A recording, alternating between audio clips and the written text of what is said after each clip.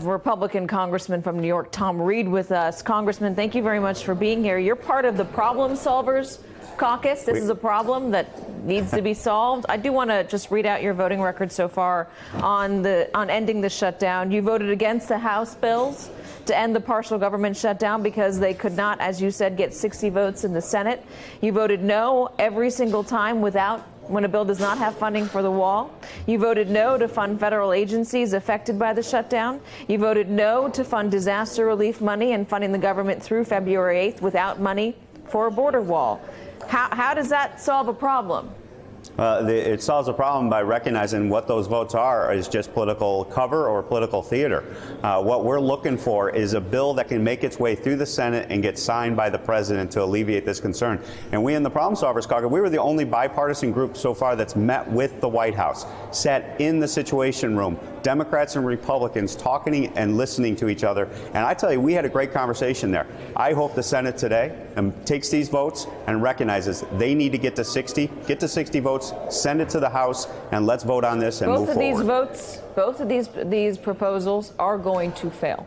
Absolutely, and that what shows. will you do after that? And and if are you going to live up to the name Problem Solvers Caucus? Because it, seems a bit disingenuous to say, "Hey, listen, no one's compromising," when you haven't compromised at all.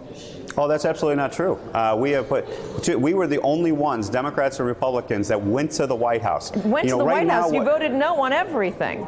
Well, these are all show votes in the House. These are all political posturing votes uh, in the House. We've uh, supported motions to recommit uh, that we supported on our side. Democrats have opposed. So these are all political posturing votes in the House. What fundamentally matters is now what can the Senate do?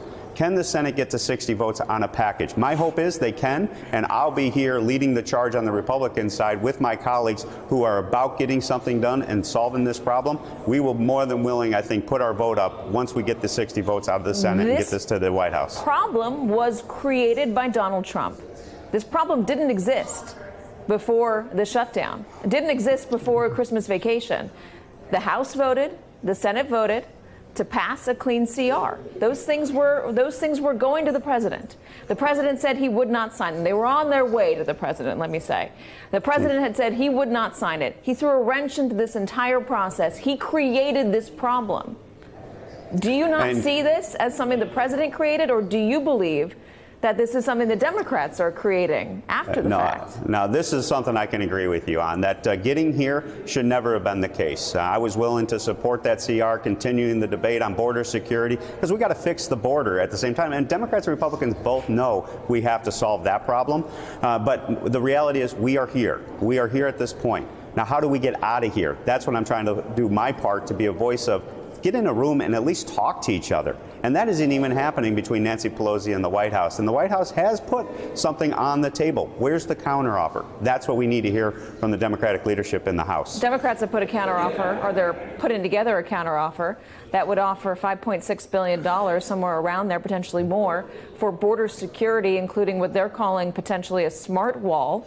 Um, is that something that you can get behind? That's a lot more money for border security. And when you look at the numbers from CBP, when you look at the numbers from DHS, the majority of, of drugs that are coming across the border go through legal ports of entry. That's money that could go to legal ports of entry to beef up security there, beef up inspections there. Uh, when you talk about uh, who is coming into the country illegally and staying, a lot of those are visa overstays. That can go to, to money to, to help find those people and get them out, as opposed to paying for a small portion of a wall. $5.6 billion is not that much. I mean, isn't it a win to say, hey, I'm going to take all this other money, money for, for other border security measures that will be pretty effective? Now, and I think you're referring to what I think Jim Clyburn has put out as a potential uh, discussion point for us to consider. Now we're having a substantive conversation. That is getting us closer. That type of investment, smart wall technology, port of entry uh, reform when it comes to border security, absolutely. Now we're getting closer to where reality is that can get 60 votes in the Senate and get the White House to sign it, it into law.